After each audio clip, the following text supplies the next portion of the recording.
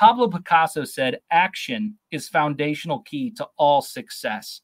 And David, you are a person of action. I've known you for a long period of time. Why don't you talk a little bit about the importance of people taking action and how you learned that principle? Well, I'll tell you what, I was blessed as a child to be raised and go into college and become an engineer.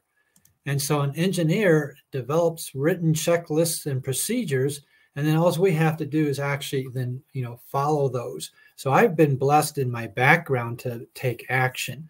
And so I think sometimes it's a mindset where you you you can get all this learning and all this knowledge from places, but you got to have that little trigger piece that says, now that I've got that, I need to take, you know, action. I was trained for four years as as an engineer, you know, to take action, but other people don't have that that background, and so I think that you know, uh, you know, you can go out there and, and yes, you should investigate things. You should find, you know, the best one that does this and the best one that does that. But when you get these pieces together, you got to actually execute that. And, and I think that's that's a you know simply something in your mind. You have to say, hey, look, you know, I've got an outcome that I want.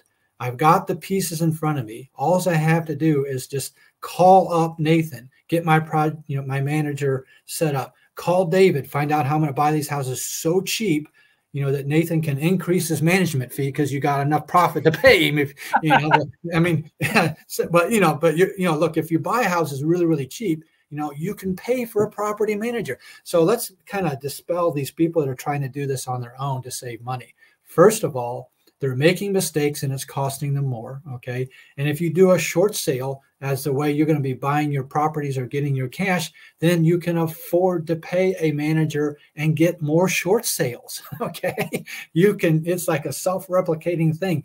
Don't be trying to self manage your home, your homes. Okay. Uh, have somebody else do it and then you work on something, you know, that you are better at. Okay uh, and stuff. And when you learn how to do short sales my way, um, you know, it's uh, it's and, you know, I got students across six different states. I've got multiple people that are you know literally retired from their day job because of that, and so now they're able to focus on real estate, you know, all the time.